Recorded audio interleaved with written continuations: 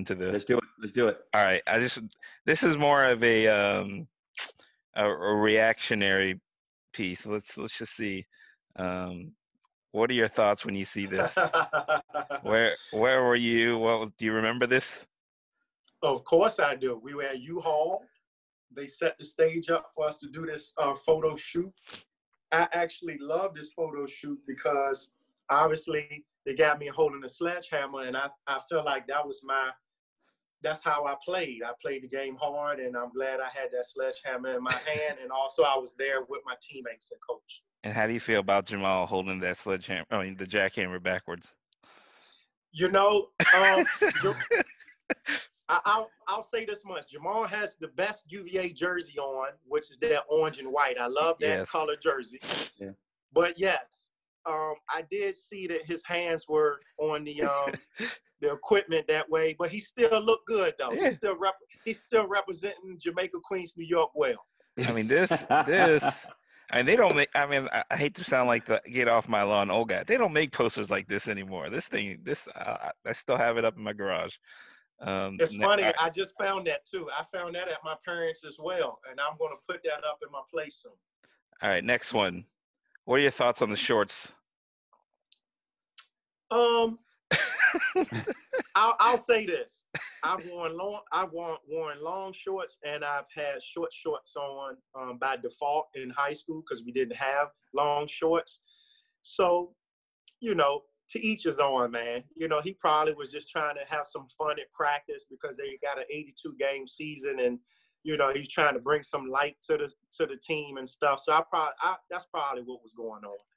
And he does it all the time now. All right, next one. I think you're gonna like this one. Hey, who is that guy with that uh, sweater on right there, smiling to the left? yeah, we got fresh right there. What What are your thoughts on these outfits?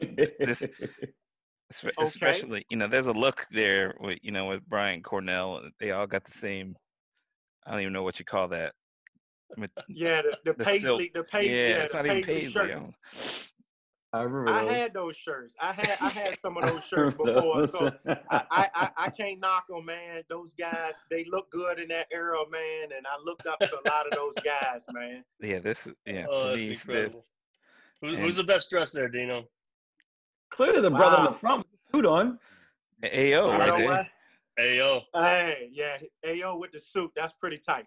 Yeah, he looks That's like he's he looks like he's in charge right there. He's like, yo, mm-hmm. I'm, I'm captain right here. Like y'all, I don't know what y'all are doing. So Dino, back back in back in school, Bryant and yo, Bryant Stith and Anthony Oliver, they ironed all their own shit before games, every game. You, are you wow. part of that? Are you part of like a southern a southern kid raised by your mom, learned how to iron your stuff, and you had to do it by yourself before every game, or you had somebody do that for you? I never did. No, I didn't. I didn't do it. I didn't do much ironing. Um, I actually I actually was fortunate my junior year to have somebody that, man, they looked out for me a lot. Like I, I, I basically it. had, yeah, I, I, basically had somebody look out after me with little stuff like that. so right. have me, me and me and Have would be in the room next to him, and, and me and Have would be like, B, like Bryant, you're a lotto pick, B. Right. Like just fucking tell Jeff Jones to come iron your shit. He'll do it. but that's Bryant's personality, man. Yeah, hundred percent we were at a Daryl Green golf tournament one time, a couple years ago. Bryant is eating with his family, and he's about to leave, and we got waitresses and everything. Instead of him letting the waitresses take his plate and all everything, Bryant took his stuff and put it in the trash can himself. That's Bryant Stith. Right. That's Bryant Stith. Yeah. And he also he also made sure the um the sweet tea was free refills, by the way. sensible, practical, sens- sensible guy. Um, discipline. And then, and then, what about this one? You were there when this happened. This is U-Hall imploding. What were your thoughts during during that? Um, a lot of great memories in that gym. A lot of great players. Just a lot of um, UVA uh, moments in sports happen there, and um, you know, I guess it's just passing the baton from the old to the new. You know, JPJ is an amazing arena, and right. you know they're going to do something different, I guess, with that space now. I was kind of sad to see it go because obviously that's you know where me and Fresh and uh, many other guys, you know, played games. But you know, it's 2020, and you know, you gotta Yep. gotta move on. Things are always constantly changing. Like you lot were ac- hours in the you were actually there. What was the mood like? Was it actually sad, or were people kind of like celebrating? I, I, you know, like how that's, that seems like a weird thing to be a part of, like watching a building go down, right? I, I'm gonna be honest. So the night before, you know, Ralph had to get together, Yeah. and you know, we hanging out, having a good time, man. And I ain't gonna lie, I didn't make it to the imploding that morning. what time? What time was it? it was like about I think 8:30 or 9:30, something like that. I get it. I I didn't make it. That's awesome. And la- all right, last one. oh man. I'm, I'm, I'm gonna blow this up for you because there, there might be a few questions. This, That that's amazing. That's amazing right there, man. I mean, you have guys from different eras all celebrating our first national championship ever, man. Like, I mean, like I said, man, I'm getting chill bumps actually right now, just thinking about the moment, the experience, the team, how well they played together, man. Just just a lot of emotion that comes along with with that picture. I mean, this picture right here is, you know, talk about talk about the Rushmore right That's here, right? That's candidates right there. That's I mean, that- Who's that goofy white guy right over your shoulder? I you know. Um, He's shout just out- he, it's shout out called a photo. no, that's Photo Cody Cody Oh, that's Cody. um, but but like, the, and none of you guys played together, yet you're still so. I mean, that's that's very telling right there. All you guys together, which I I, I have this picture. I think it's super cool. Like all, all you guys, I remember your career so well. Oh yeah, you know, actually, um, Josh Hare was the guy that called me, the guy that's um in the yellow Yeah, in yeah. the middle. Uh-huh. He's Slaughter the, rat. he's the, yeah, he's the one that called me um when we beat Purdue and we are going to the Final Four. He said, um, HD, you know, you you mean a lot to this program, man. Look, just get your plane ticket. I'm gonna take care of everything else. You you deserve to be out here at the Final Four. And I was in the process of moving from Orange County to back to Virginia. And so I didn't even know if I was going to even be able to make the Final Four. But when he Wow. told me just buy, buy my plane ticket, he was going to take care of everything else.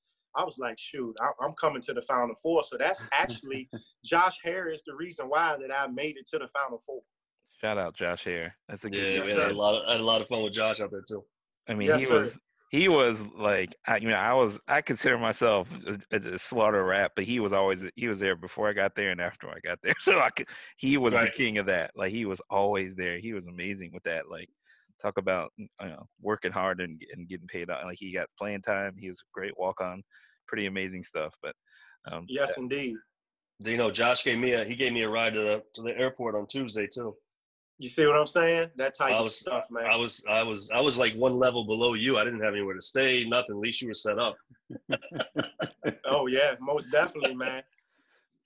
It was amazing time, I tell you. And then I got a chance to talk to Malcolm for a little bit. I told him, you know, congratulations for you know everything he did for the program and what he's doing in the league, and For you sure. know with with the water stuff and all that, man. So it's just good to like, you know, show people respect that you have seen, you know, be successful and also that are part of the program.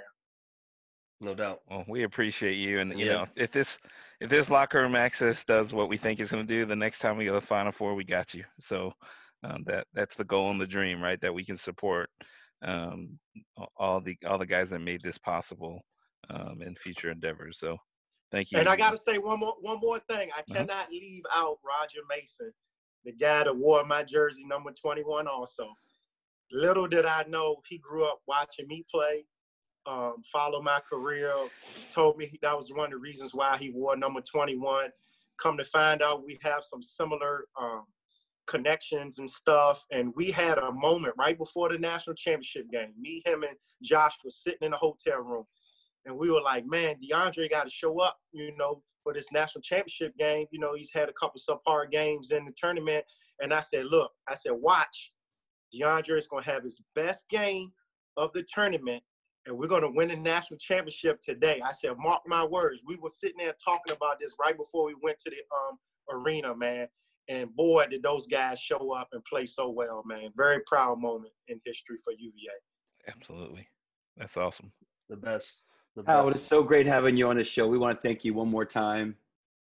Really appreciate it. Look forward to catching up in person. And for everyone listening, please don't forget to subscribe to us on YouTube, Apple Podcast, and Spotify.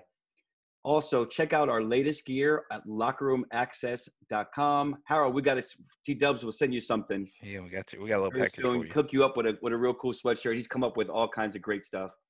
Man, Yeah, we got also, man. Really good. For I T really Dubs in. California, for Dougie Fresh Smith, I'm Mark Jerome. Until next time, giving you locker room access.